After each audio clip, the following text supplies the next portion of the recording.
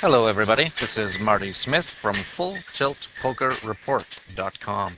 Today I am actually on Full Tilt Poker and I'm going to show you how to use, or how I use at least, the uh, note and color system to keep track of your opponents.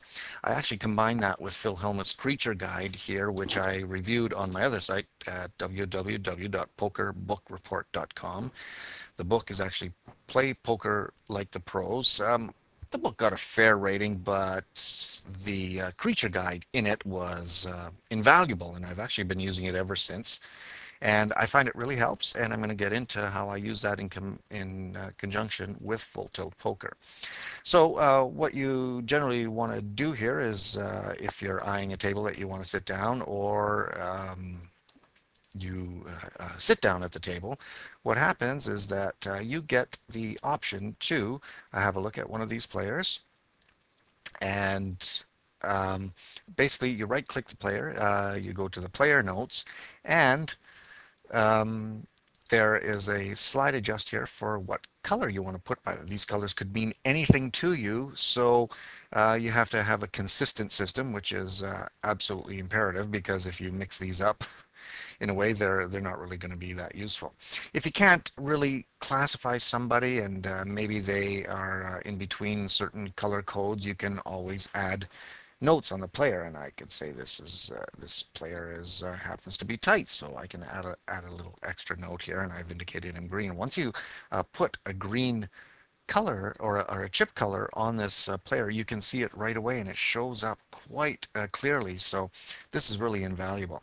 I'm going to change that later here, but uh, as we get into the what the colors mean to me, like I said, they may mean different things to you. In Phil Hellmuth's Creature Guide, what happens is that um, there's he gives about five classifications. I've added one which i'm going to get into as well.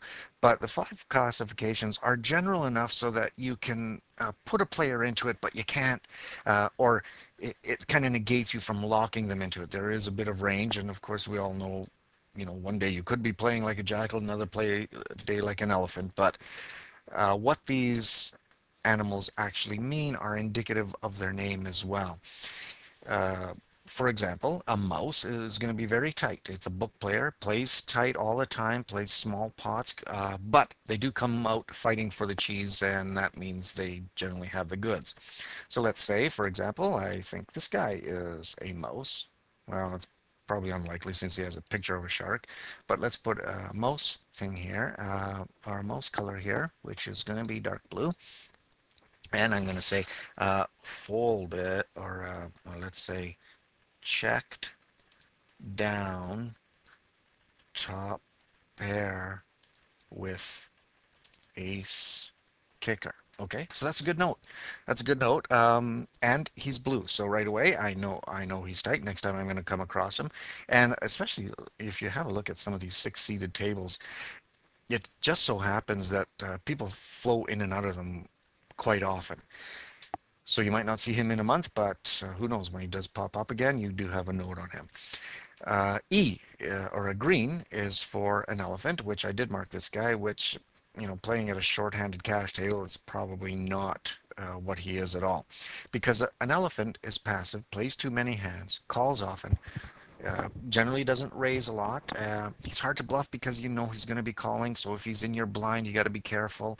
Um, and he's really hard to put on a on a hand because he doesn't normally fight back. Um, he's just going to be accepting your money and uh, calling it down with things like ace high. So it's kind of dangerous. You pretty much have to have the goods, and if you're building the pot, you are building the pot to to win it against a player like this. So let's say over here we got a lion. A lion I have as the orange color, and uh, wow, you could do a lot worse than being a lion on, on internet poker. They're tricky. They know their position play, and uh, they know the odds that they generally have a lot of experience either live or internet and they have the ability to mix up their plays so you can't really place them but you do know um, that they are aggressive they're generally aggressive before and after the flop so you have to be prepared that not only are you going to be calling a raise from them pre-flop but uh, you know that you're going to be looking at a raise unless that uh, flop doesn't uh, hit you, um, that you're going to be looking at uh, calling arrays uh, right after because they're generally aggressive. I liken uh, lions to semi-pros online. Uh, they generally know what they're doing, and um, these guys generally make money as well. They're uh, in and out uh, different, several different sites, and um, pretty close to making an online living, possibly. Excuse me. I'm going to put this, I'm going to change this color here to the next one, which is a jackal. And a jackal is uh, somebody raised with four, six offsuit early position. That is something that a jackal will do. A jackal is a maniacal player, raises with lots of hands, has a little regard for position, and uh, basically uh, doesn't really wait for hands. His uh, his uh, op operative is basically putting pressure on you as as an as his opponent. Um, it's all sort of play money to him. So if you're if you're a tight little mouse, you you're probably going to be in in tough with a, a player like this. That's jackal, maniacal. Um, in tournaments or even in cash games, jackals may do well for a short time, but they do generally end up busting out to somebody like a lion or even a mouse. Uh, if a mouse comes up with a big hand and a lion can um, have the wherewithal to re-raise them when they need to. I don't think he's a I don't think he's a jackal, but who knows? Maybe he's an eagle.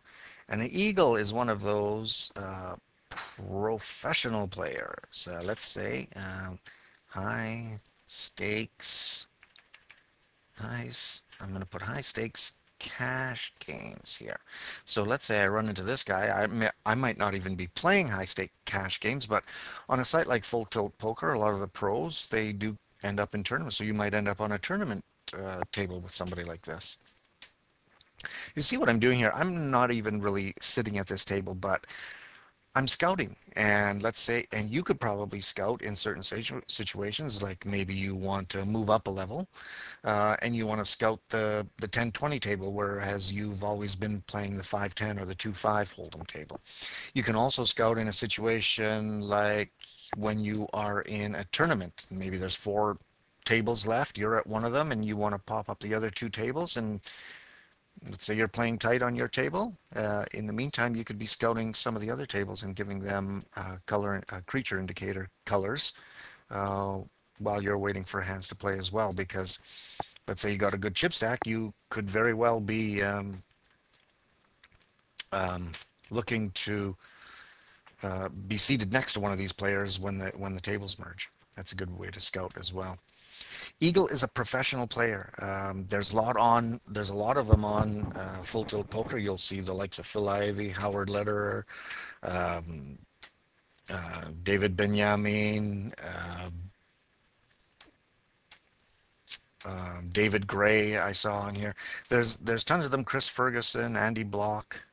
So those guys are easy to recognize, but there's also some other guys here who have a nice little bankroll here and you want to mark as a pro as well. Now, another one that I have uh, found, I'm going to try and find another table here with a few more players. Let's look at this one.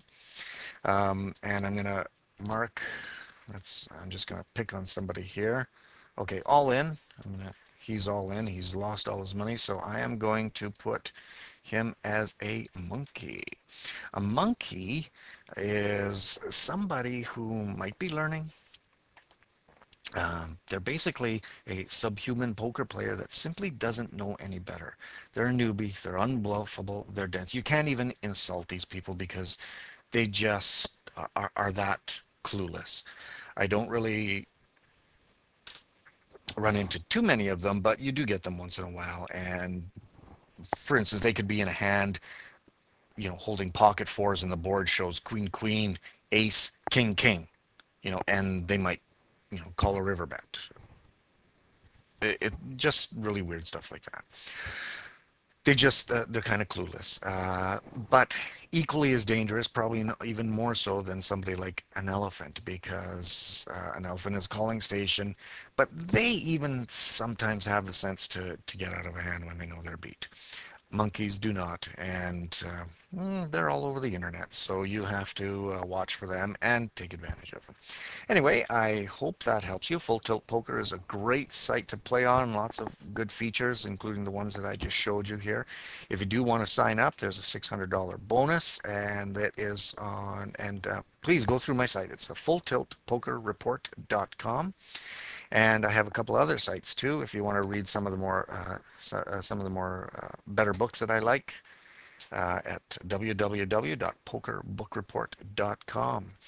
Okay, everybody. I hope you make some good money at the tables this week, and uh, I'll talk to you next time. Thanks again, and best of luck.